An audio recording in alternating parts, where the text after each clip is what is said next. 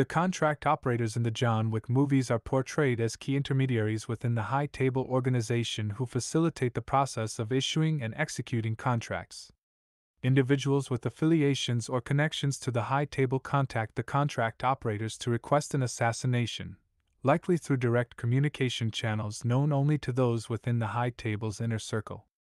The contract operators assess the details of the contract, including the target, method of assassination, and any specific requirements or conditions.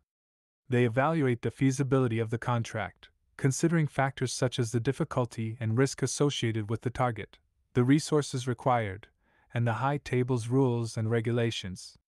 Based on this assessment, they determine an appropriate price for the contract.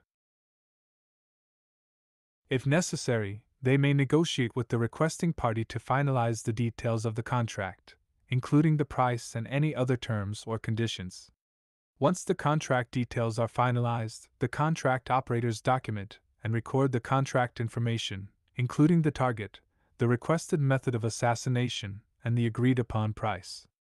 This documentation serves as an official record of the contract within the High Tables system.